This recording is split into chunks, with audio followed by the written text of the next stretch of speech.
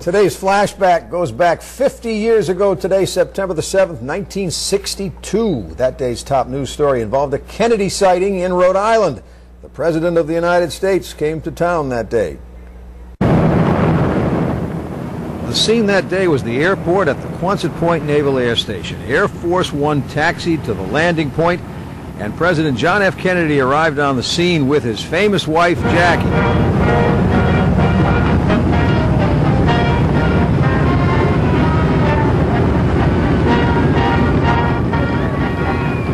See if you can recognize the Rhode Island political official who presented the president with gifts that day. To President Kennedy on uh, the occasion of his visit uh, to our shores for uh, a well-earned vacation.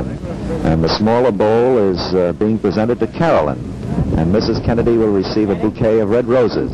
And we hope that the president and his family spend uh, a fine uh, week or 10 days in Rhode Island.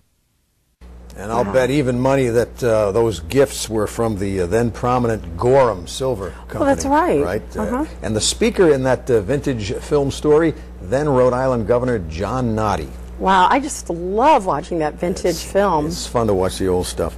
All right, it's five minutes to six now. Time to find out what our viewers are talking.